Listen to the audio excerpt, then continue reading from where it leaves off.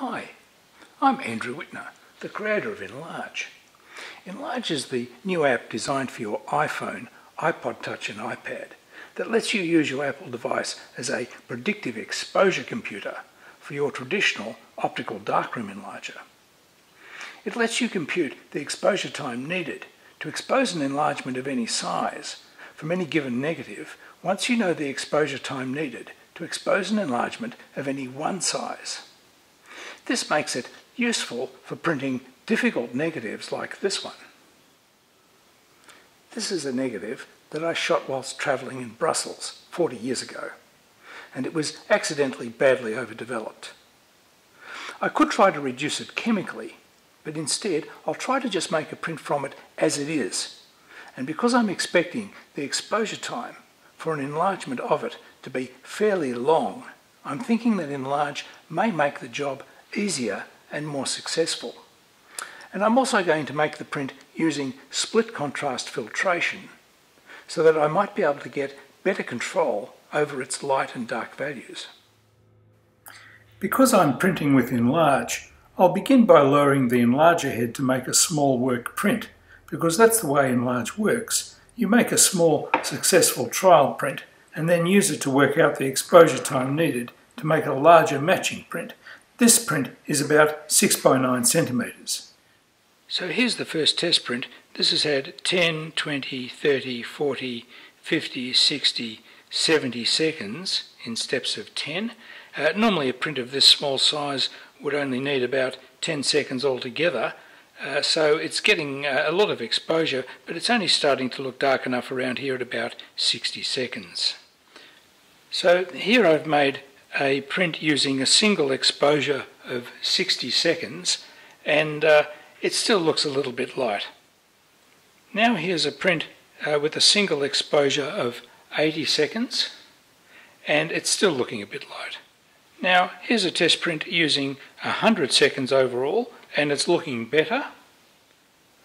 Now in, in this test print here I've increased the exposure time uh, with the double O filter to 119 seconds overall and then I've given uh, a test uh, with the number 5 filter 10, 20, 30, 40, 50, 60, 70 seconds uh, to try and see um, how the blacks are coming in now. And I can see that at about 40 seconds or so, somewhere around here, I'm getting um, the blacks that I want without overdoing them.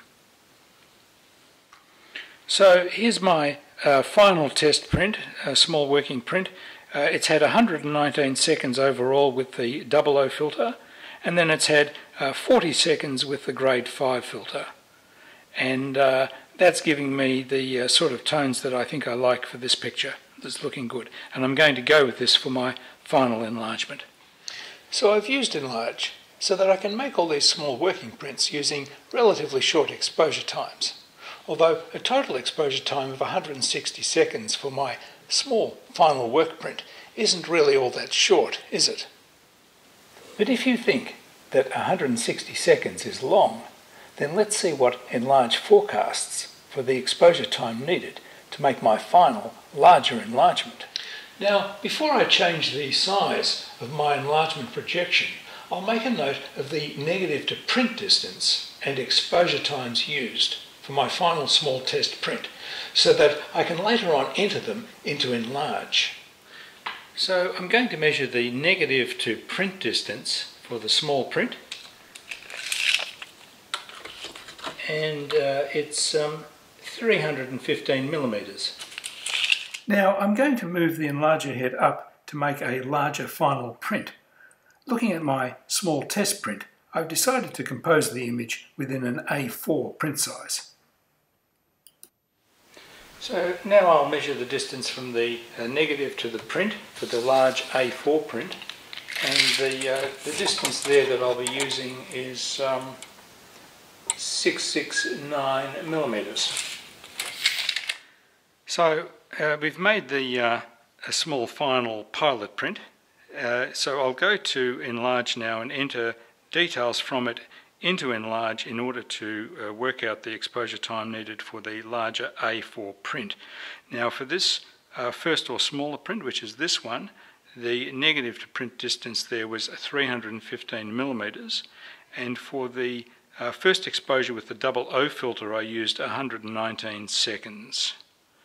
Now the larger A4 print is going to be made using a negative to print distance of 669 millimetres, and that means uh, that to make an A4 print which actually matches this one here calls for an exposure of 991 seconds. Now, I am using Ilford uh, glossy uh, warm tone fibre based paper. It does have, in my opinion, a dry down percentage uh, value of about minus 2.5% on the exposure. So I'll bring that in and use it here, and there it's introduced it as a 2.5% reduction to the normally computed exposure time. So 991 uh, becomes 966 after you take away 2.5%. So there's the plan. I'll use 966 seconds with the double O filter. Now to work out the exposure time for the number 5 filter, uh, I decided that I liked the effect at 40 seconds exposure and that means um, the new exposure time for that one would be 333 seconds. However, that's also reduced after the uh, dry down allowance of 2.5% off. It makes it 325 seconds, so 325 seconds with the grade 5 filter. And that's the uh, printing plan to make the uh, A4 print. Wow, two questions come to mind.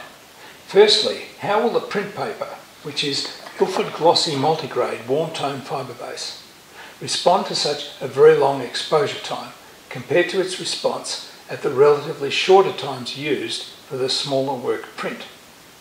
Enlarge is supposed to give me a perfectly matching enlargement, but will the paper have the correct exposure response? And will its contrast look right? And second, what about the condenser lenses in this Agfa Varioscope 60 enlarger? I'm printing with a 150 watt Photocrescenta lamp and I'm concerned that the heat buildup from it could crack the condenser lenses. I'm also thinking that the engineers at Agfa probably would have used heat resistant glass, but there's only one way to find out for sure. So I'm going to make the print using these recommended exposures of 966 seconds with the 00 filter, followed by 325 seconds with the number 5 filter. And we'll see how the enlarger and the print look at the end of it. And here's the finished enlargement. I'm pleased to say that the enlarger condensers didn't crack, although they got pretty hot. And here's the uh, finished dry A4 enlargement next to the still damp uh, final pilot print and you can see that they're a pretty good match for each other. The pilot print has had about two and a half minutes exposure, whilst the larger A4 print has had about 21 and a half minutes exposure. So Enlarge has made making this enlargement easier by avoiding what would have been very time consuming testing if the work test prints had been done at this larger size. So Enlarge has worked well and you can see that this particular print paper has a very good linear response in terms of exposure time and print contrast, even out to exposure times of about 16 minutes and beyond. And that's enough of enlarge and difficult negatives for one day. See you.